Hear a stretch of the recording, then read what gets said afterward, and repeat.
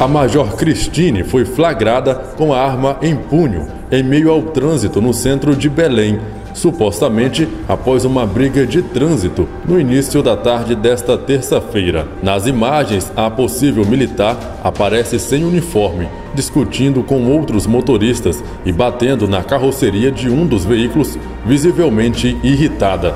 Segundo o relato de quem gravou o vídeo, ela estaria discutindo porque o trânsito à frente estava bloqueando a saída do carro dela. Na área é comum haver um trecho de lentidão por causa da parada de veículos em frente à escola.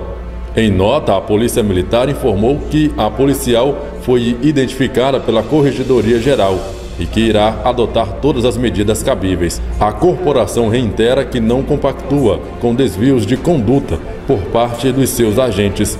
A Promotoria de Justiça Militar abriu um inquérito contra a Major e vai pedir o afastamento da policial.